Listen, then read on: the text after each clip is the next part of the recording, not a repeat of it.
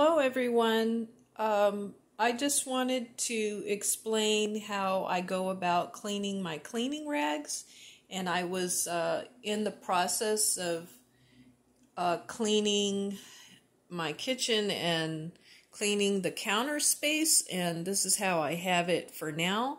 So, this is a big boiling pot, also known as a gumbo pot. So I fill it all the way up to the top with hot, hot water because sometimes the tap running water doesn't is not hot enough. But it is hot, but doesn't you know, you'll be surprised actually how hot water is known to kill germs.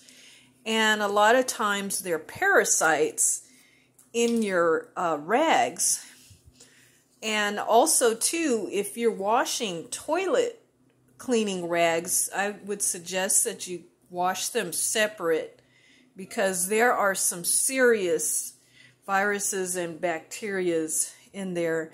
And here are bleach tablets.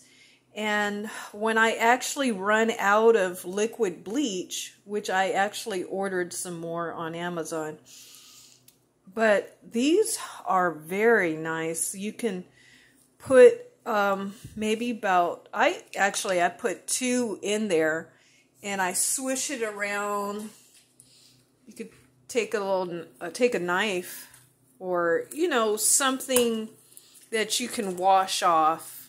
I mean, because bleach is not gonna, it's not gonna hurt anything. See, I just poke it around and I just let it soak. And I come back to it, and usually I'll take something like a laundry bar soap. Uh, believe it or not, they do sell those. And you could just rub and clean each rag methodically and rinse them out, and then hang them on your laundry drying rack.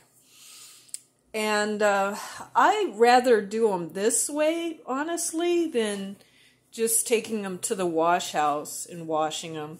But the choice is yours, but always think about cross contamination. And I would suggest, you know,